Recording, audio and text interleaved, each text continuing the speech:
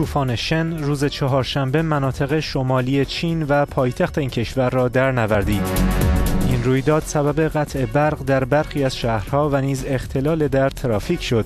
مسئولان دولت از مردم خواستند تا در خانه ها بمانند.